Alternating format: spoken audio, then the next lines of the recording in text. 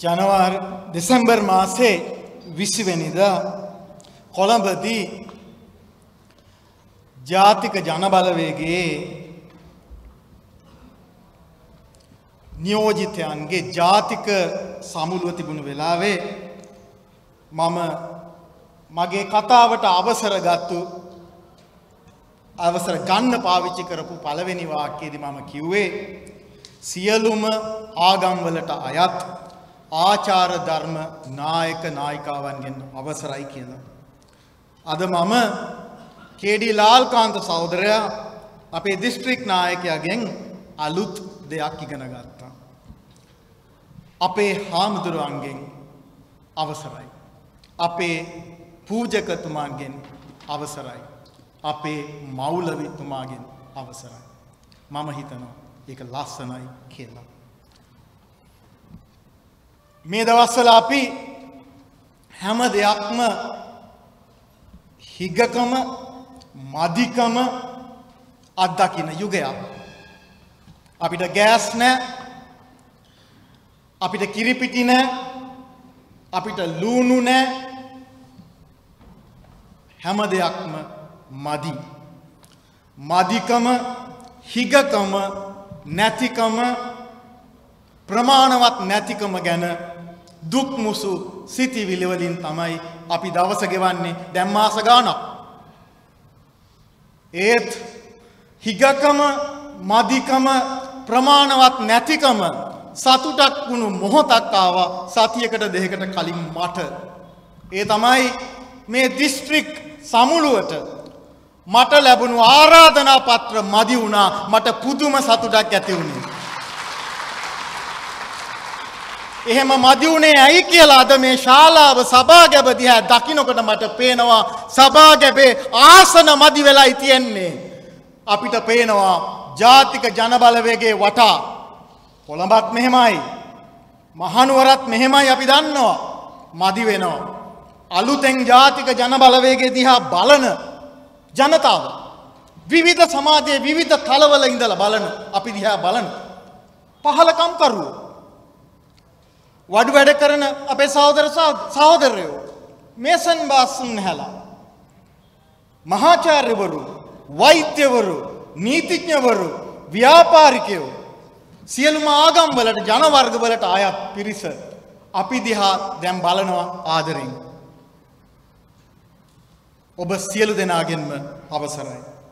ඒ විතරක් නෙමෙයි ෆේස්බුක් ඔස්සේ අප දිහා බලාගෙන සිටින ලෝකයේ පුරා සිටින අපට සුභපතන ඔබ සියලු දෙනාගෙන්ම අවසරයි. අපි හදමින් ඉන්නේ විශාල ජන බලවේගයක්. මේ ජන බලවේගයට මීට වඩා වෙනස් ලංකාවක් දකින්න කැමති මීට වඩා වාසනාවන්ත ලංකාවක් දකින්න කැමති මනුෂ්‍ය ජීවිතයේ පිපුණු බව මනුෂ්‍ය ජීවිතයේ පලදරන බව මනුෂ්‍ය ජීවිතයේ විකසිත බව දකින්න කැමති බොහෝ දෙනෙක් ප්‍රගතිශීලී බොහෝ දෙනෙක් අපි දිහා බලමින් ඉන්නේ. මේ වෙලාවේ මට මතක් වෙනවා අපි පහුගිය මහ මැතිවරණයේදී මේ දිස්ත්‍රික්කේ ගම් දනව් පුරා ගිය හැටි. මෙතන ඉන්න මේ සහෝදරවරු මේ සභාවගේ සභා ගැබේ ඉන්න සමහර සහෝදරවරු සහෝදරියෝ අපිත් එක්ක ගියා. අපි සමහර වෙලාවට වාහන කඳු උඩ නවත්තලා ඒ ගම්දරන රැස්වීම තියෙන රෑ හැන්දෑවේ රැස්වීම් තියෙන ගෙවල් වලට කඳු පල්ලම් බැහැගෙන බැහැගෙන කිලෝමීටර් ගාණක් ගිහිල්ලා අපි රැස්වීම වල කතා කළා. එහෙම ගිය හැම රැස්වීමකදීම වගේ මම අහපු දෙයකින් මගේ මාතෘකාවට ප්‍රවේශ වෙන්න මම කැමතියි. ඒ ජනතාවගේ මම අහපු ප්‍රශ්නකින්. මගේ කතාවේ මාතෘකාව මනුෂ්‍ය විභවතා මනුෂ්‍ය ශක්්‍යතා මනුෂ්‍ය හැකියාව. විභවතා කිව්වම ටිකක් බර වචනයක්. එකෙන් අදහස් වෙන්නේ මනුෂ්‍යයන්ට තියෙන හැකියාව. මනුෂ්‍ය ජීවිතයේ විය හැකි බව. අපි ඉපදෙනකොට කවර පසුබිමක හිටියත් අපේ ජීවිතය විකසිත වී නැගෙනවා නම් අපට කවුරුන් බවට පත්විය හැකිද කියන ඒ හැකියාව. ඒ ජීවිතය විකසිත කරන්නේ කොහොමද කියන එක තමයි මගේ මාතෘකාව මම විනාඩි කීපයයි කතා කරන්න. ඒ සන්ධ්‍යා රැස්වීම් වලදී ගෙවල් වල ඒ රැස්වීම් තිබුණේ සමහර වෙලාවට ඒ අම්මල තාත්තලා රැස්වීම් වලට සහභාගී වුණේ දරුවෝ උකුලේ තියාගෙන දරුවෝ වඩාගෙන. මම නිතර පාහේ අහපු ප්‍රශ්නයක් තියෙනවා ඒ දෙමාපියන්ගෙන්. සහෝදරයා සහෝදරිය අපි මේ කතා කරන මොහොතේ ඔබේ උකුලේ වාඩි වී සිටින ඔබේ පුතා ඔබේ දුව. සියලුම ලෙඩ රෝග වලින් ආරක්ෂා වෙලා.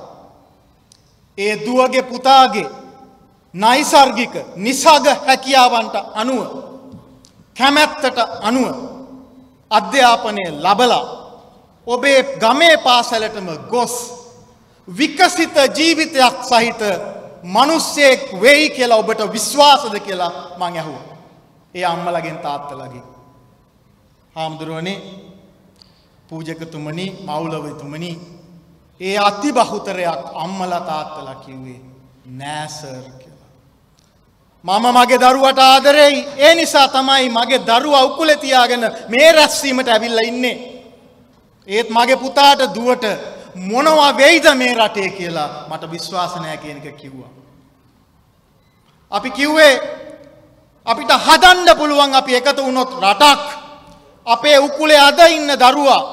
ඒ දරුවාගේ දෙමව්පියන්ගේ රස්සාව මොකක් වුණත් වාසගම මොකක් වුණත් ඉපදුනේ කොහෙද කියන එක මොකක් වුණත් කොයි ගමේ ඉපදුනත් ගමේ ඉඳලා පයින් යන දුරින් තියෙන ඉස්කෝලේට ගිහිල්ලා විද්‍යාව හොඳට ඉගෙනගෙන ඉංග්‍රීසි ටික ඉගෙනගෙන තවත් ජාත්‍යන්තර භාෂාවක ඉගෙනගෙන සංගීතය කැමති නම් ඒකත් ඉගෙනගෙන නර්තනය කැමති නම් ඒකත් ඉගෙනගෙන විකසිත වුණු ජීවිතයක් සහිත දරුවෙක් හදන්න පුළුවන් රටක් අපිට හදන්න පුළුවන් නේද කියලා අපි අහනකොට ඔළුව හෙල්ලුවා. ඒත් මැතිවරණයේදී අත හෙල්ලිලා තිබුණේ වෙන ආකාරයකට. ඡන්දෙ දෙන වෙලාවේ. අපි ඒ අයට දොස් කිව්වේ නැහැ. සමාජ මාධ්‍යවල ඒ පොහොට්ටුවට ඕ වෙන මොනවට හරි එකට ඡන්දය දුන්නු අත්වලට අපි ශාප කරුවේ නැහැ. එදා අපි කතා කරද්දී නිහඬව ඔළුව හොල්ලපු අම්මලා තාත්තලා අද ඇවිල්ලා ඉන්නවා මේ සභාගබේ කියලා මම ආසාවෙන් කියන්න කැමතියි. අද අපි ජාතික ව්‍යාපාරයක් ජාතික ජනබලවේගය මේ අරන් තිබෙන්නේ මොකටද? නැවතත් ඔබට කතා කරන්න. නැවතත් ඔබට කතා කරන්න. සහෝදරයා සහෝදරිය අම්මේ තාත්තේ ලාල්කාන්ත සහෝදරයා කියපු විදියට අපි මේ දිස්ත්‍රික් විදායක සමුත් විදායක සභාව පිහිටවලා අපි බලාපොරොත්තු වෙනවා නැවත වතාවක් ඔබේ හර්ද සාක්ෂිය හොල්ලන්ඩ ඔබ ළඟට ඔබේ ගම්වලට එන්න. ආයෙත් එන්න අපිත් එක්ක එකතු වෙන්න අපි මේ ව්‍යාපාරය ගොඩනගමු. අපි අර කියපු රට ගොඩනගමු. මනුෂ්‍ය විභවතා මනුෂ්‍ය හැකියා මනුෂ්‍ය ජීවිතය විකසිත කිරීම සඳහා අවශ්‍යයි අධ්‍යාපනය. ඒ සඳහා අවශ්‍යයි සෞඛ්‍ය. ඒ සඳහා අවශ්‍යයි තව බොහෝ දේවල් ප්‍රධාන වශයෙන් අධ්‍යාපනය සහ සෞඛ්‍යය. තමන්ගේ උකුල ඉන්න දරුවගේ අනාගතයට මොනවා වෙයිද කියලා තමන්ට විශ්වාසයෙන් කියන්න බෑ කියලා එදා කියපු අම්මල තාත්තලා.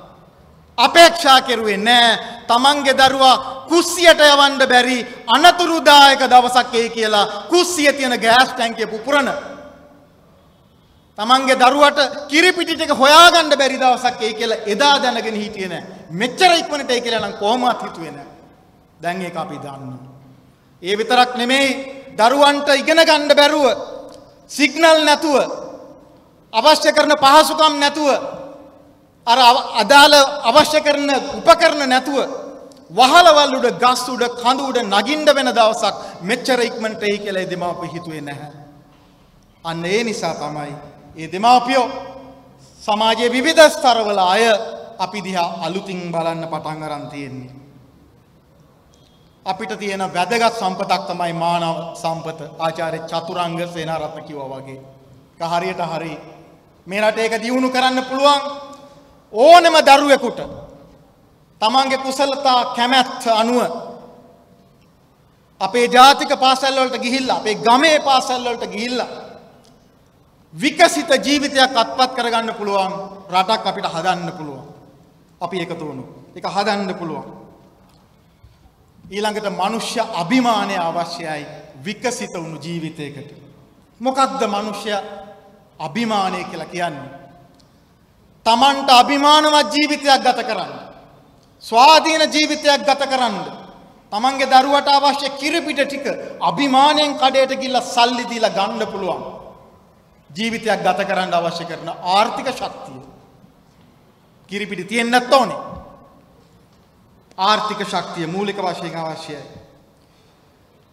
ඒ විතරක් නෙමෙයි තමන්ගේ කුසලතාවලට පිළිගැනීම තමන්ගේ හැඟීම් ආදරය මිත්‍රත්වය සහෝදරත්වය ආගමික භක්තිය මේ වගේ හැඟීම් කාගේවත් බාධාවකින් තොරව කාටවත් බය නැතුව ක්‍රියාවට නැගීමේ. ඒ හැඟීම් විකසිත කරමින් ජීවත්වීමේ හැකියාව මනුෂ්‍යන්ට තියෙන්නවා. එහෙම රටක් හදන්න පුළුවන් ආර්ථික නිදහස ආර්ථික ප්‍රජාතන්ත්‍රවාදය ඇති කරන එක අපිට කරන්න පුළුවන්.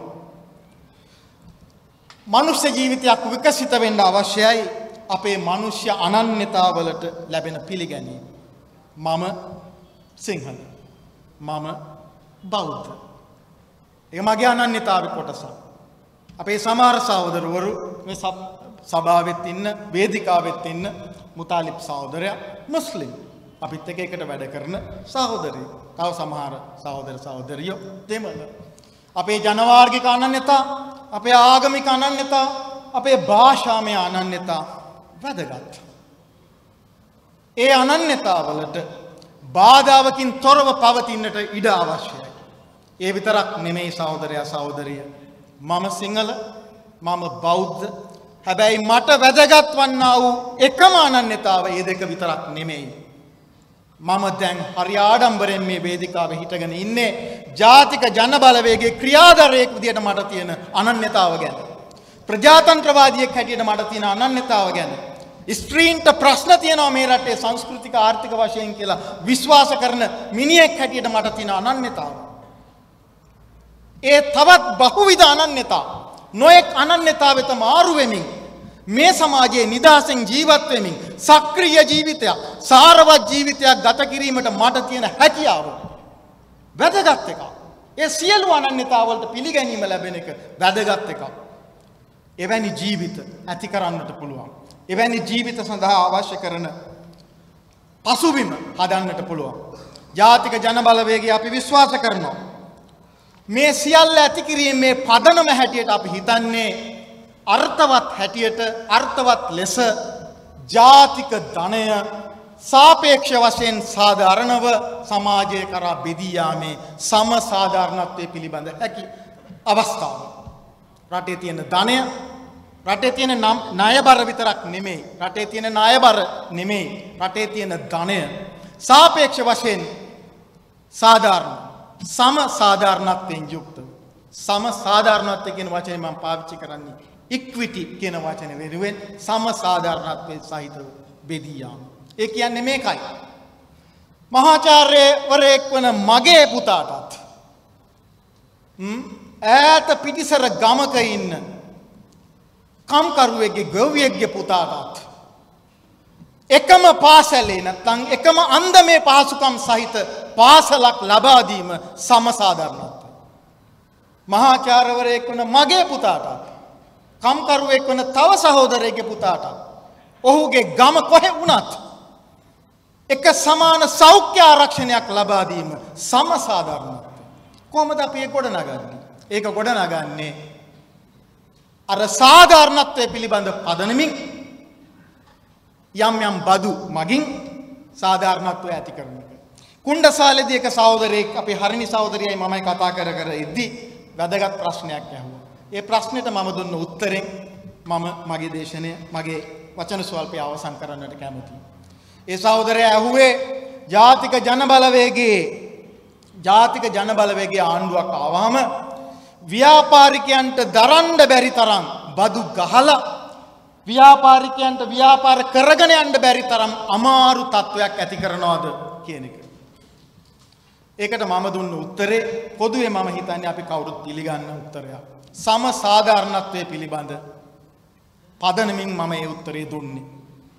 ඉක්විටි හෙවත් සම සාධාරණත්වය කියන්නේ ව්‍යාපාරිකයා විනාශ කරලා ඔහුගේ හෝ ඇයගේ ධනය දුප්පතුන් අතර බෙදා දෙන රොබින් හුඩ් ක්‍රමයක් නෙවෙයි. සම සාධාරණත්වය. අන්ත දෙකටම සාධාරණත්ව ඇති කරන.